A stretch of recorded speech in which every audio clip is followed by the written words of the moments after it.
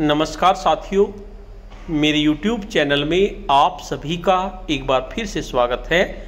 साथियों, आज मैं आपके लिए एक बहुत ही इन्फॉर्मेटिव वीडियो लेके आया हूँ। साथियों, जैसा कि आपको अवगत है, अप्रैल 2004 में केंद्र सरकार ने पुरानी पेंशन प्रणाली को बंद करके उसकी जगह एक नई पेंशन प्रणाली, जिसे राष्ट्रीय पेंशन प्रणाली के नाम से भी जाने जाते हैं, एनपीएस जिसे कहते हैं, वो लागू कर दी।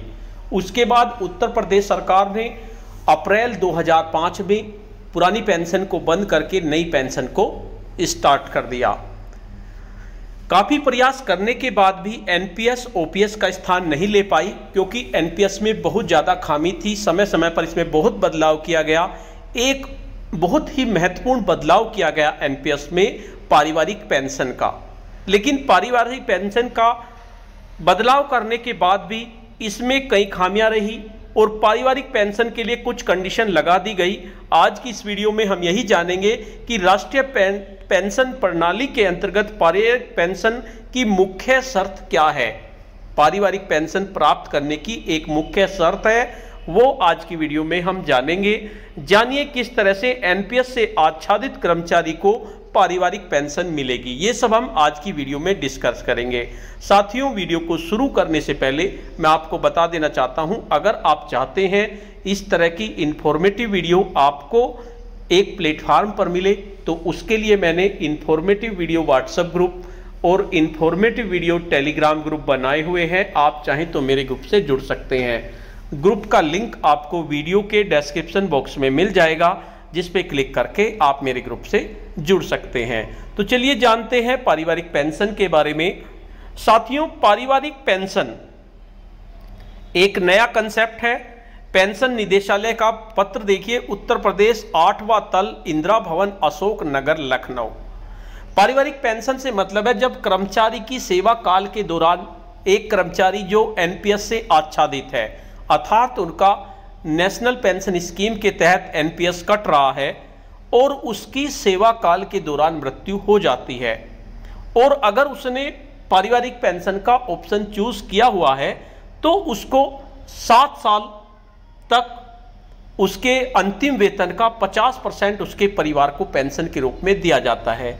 उसके बाद 30 प्रतिशत पेंशन के रूप में दिया जाता है, इसको एनपीएस कहते हैं। एनपीएस की पारिवारिक पेंशन इसमें कहते हैं, लेकिन इसकी भी एक कंडीशन है। वो कंडीशन के लिए देखिए लेटर भी जारी हुआ है। सेवा में समस्त संयुक्त निदेशक पेंशन उत्तर प्रदेश, ये 18 जून 2021 का है। देखिए, इसका विषय है, राष्ट्रीय पेंशन प्रणाली के अंतर्गत सेवा काल में मृत्यु प्रकरणों पे। पारिवारिक पेंशन के विकल्प का चयन करने पर एनपीएस खाते में संचित संपूर्ण धनराशि राजकोष में जमा कराने विषयक। अर्थात मान लीजिए आपका एनपीएस कट रहा है और आपने पारिवारिक पेंशन का ऑप्शन भी दिया हुआ है। इसका आपको ऑप्शन देना होता है कि आप पारिवारिक पेंशन चाहते हैं। तो ये ऑप्शन आपको देना पड़ेगा लिखकर विभाग को। आप पारिवारिक पेंशन चाहते हैं। लेकिन उसमें क्या होता है, जितना आपका एनपीएस कटा चाहे आपका 10 साल कटे 5 साल कटे 15 साल कटे और आपने ऑप्शन दिया हुआ है और सेवा काल के दौरान किसी कर्मचारी की मृत्यु हो जाती है तो मृत्यु हो जाने पर उसके एनपीएस में जितनी भी जमा धनराशि होती है, वो सारी की सारी जमा धनराशि राजकोष में जमा हो जाती है। वो दो लाख भी हो सकती है, चार लाख भी हो सकती है, दस लाख भी हो सकती है और उसकी कंडीशन में आपको पारिवारिक पेंशन दी जाती है। अर्थात ये तो कंफर्म अभी नहीं हो पा रहा है कि सात साल है शुरू के या दस साल है। थोड़ा सा कंफ्यूजन है इसमें। वैसे मैंने सुनाया था सात साल है। सात साल तक पचास परसेंट अंतिम वेतन का पेंशन दी जाती है और उसके बाद तीस परसेंट पेंशन दी जाती है। या दस साल भी हो सकता है, लेकिन उसके लिए आपका जितना भी एनपीएस कटा, वो राजकोषीय में जमा होगा। देखिए, इसके लिए लेटर भी आया है।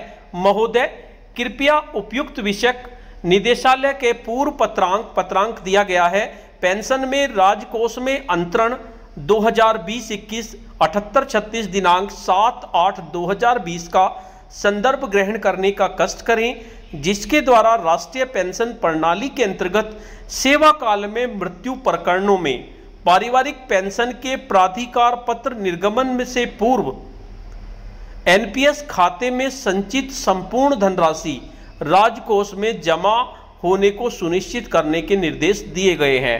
राष्ट्रीय पेंशन प्रणाली के अंतर्गत सेवा काल में मृत्यु प्रकरणों में पारिवारिक पेंशन के विकल्प का चयन करने पर प्राण खाते में सब संचित संपूर्ण धन राजकोष में जमा करने हेतु संबंधित विभाग के आहरण वितरण अधिकारी डीडीओ द्वारा मृत कार्मिक के आश्रित से शासनादेश दिनांक 20 तीन 2017 का अनुलग्नक 10 पूर्ण कराकर संबंधित जनपद कोषागार, डीटीओ को विकल्प पत्र और अनु अनुलंघक लगरक 10 प्रस्तुत किया जाता है।